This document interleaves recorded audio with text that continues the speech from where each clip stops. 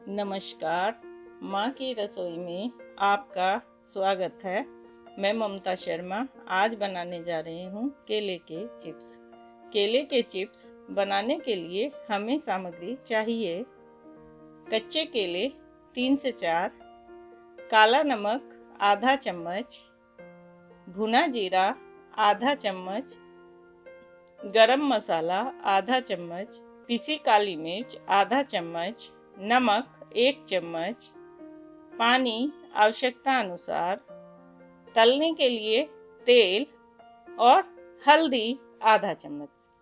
सबसे पहले कटोरे में पानी को भरेंगे। इसमें आधा चम्मच हल्दी और आधा चम्मच नमक डालकर घोल तैयार करेंगे। अब केलों को धोकर छील लेंगे और दोनों तरफ़ से थोड़ा थोड़ा काट देंगे।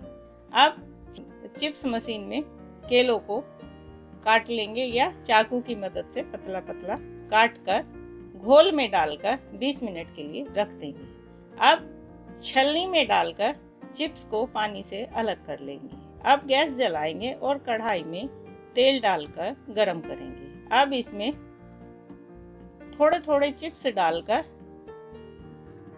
अलट पलट कर मध्यम आँच पर हल्के सुनहरे रंग का होने तक तल लेंगे। अब एक प्लेट में टिश्यू पेपर डालकर चिप्स को निकाल लेंगे। अब इसमें काली मिर्च, काला नमक, भुना जीरा, गरम मसाला डालकर चिप्स में मिलाएँगे।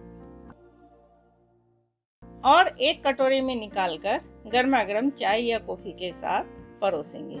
आप इनका सेवन उपवास में भी कर सकते हैं। काला नमक और नमक के स्थान पर आप इसमें संधा नमक का इस्तेमाल कर सकते हैं। आप इनको एक से दो सप्ताह के लिए बनाकर रख सकते हैं। हमारी ये रेसिपी आपको कैसी लगी, नीचे कमेंट्स में बताएँ और यदि आपका कोई सवाल है तो उसको भी आप पूछ सकते हैं।